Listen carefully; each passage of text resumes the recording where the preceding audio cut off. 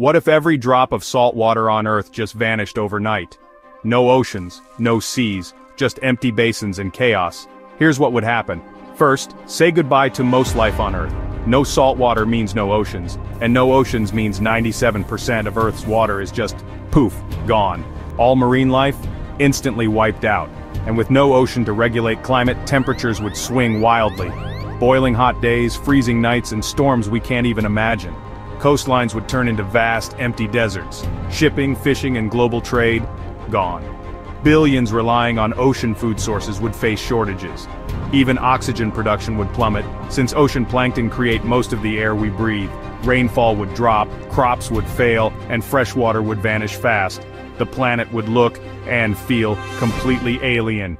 So next time you see the ocean, remember without it, life as we know it wouldn't stand a chance. What would you miss most? Tell us in the comments, and don't forget to like and subscribe for more jaw-dropping what-ifs.